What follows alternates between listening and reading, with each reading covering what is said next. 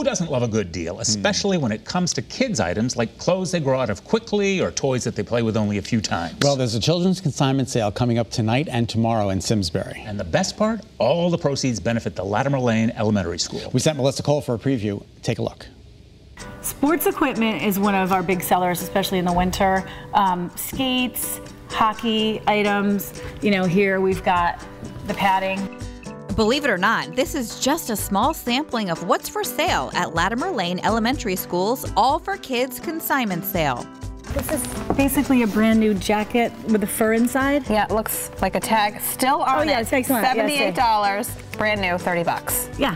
So this is just five people's stuff right now, but you're going to be getting, like you said, 115 consigners. 115 consigners So that's going to be it's massive. Yeah, yeah. We, we really like maximize the space.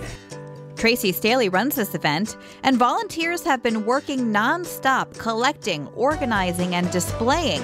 So as it kicks off tonight, it's going to look a little bit more like this. So the sale started as a fundraiser for the school, and it started 19 years ago. Last year was record breaking. The sale made $8,000 for the school, and that's after paying out the consigners, who get 60% of whatever sells. We have had consigners in the past years making like $2,000, $2,500. Um, last sale, our consigner, one consigner made $700. It's crazy. Becky Mahoney and Jenna Caulfield also help with this event, and they say all the money raised goes towards great school programs.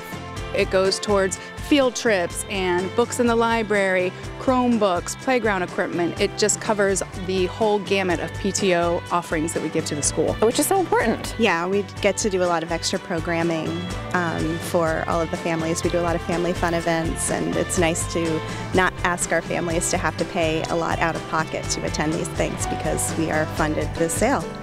And of course, all of the kids do their part for this huge fundraiser, too. Did you donate some of your stuff to the sale? Yep, my old little chair. Your old chair. Okay, that's good. Um, I like that everything's so cheap, so you can really find anything. I found some really cool craft supplies here in the past. Okay. And what about this year? What are you looking for? Um, I'm not really sure, but I'm excited to browse. Others know exactly what they want. Uh, there's a leather jacket over there that I want. Okay. A bow and arrow thingy. well, you better get here quick, right? Because Yeah. that might sell out. I also want that. You want? Oh, you want it too? Yep. Oh boy. Moms to be, lots of great nursery items. So this locks in different positions, and it's like, it's amazing. This was in your nurs- nursery. This was in my nursery, 10 years. And you paid how much for it? I paid almost $2,000 for this. Right. And now? $2,000. Now it's 200 bucks. 200 bucks. And it's so comfortable. How I mean, you this not? bike barely even looks used. Well, that's the thing. Right. Yeah. I mean, so 75 for this bike. 75 for that. 55 for this one. And, and all ones. different prices. This one's 15. $15 Yeah. for this bike. And look at all of these beautiful clothes. Many of them still have the original tags on. Now, is anyone wearing something that they got last year? Mm. Oh, so many of you. Okay, well, what are you wearing that you got last year? I'm wearing my jacket, and mm-hmm. I got it from the one last year. Awesome. And who else?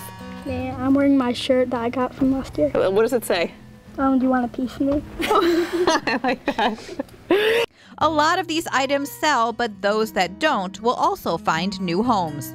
And our charity is the Parent and Child Center at Bristol Hospital, and they distribute it to families in need around the community, which is amazing. So this is very exciting. I know. And people are coming from all over. all over. We get people from all over Massachusetts, people from all over Connecticut. We have a consigner from Vermont this year. Wow. Yeah. So hopefully you'll beat your $8,000 record. I know. We'll see. It's All right. fantastic. Thanks so much. Thank you. That's great. Yeah.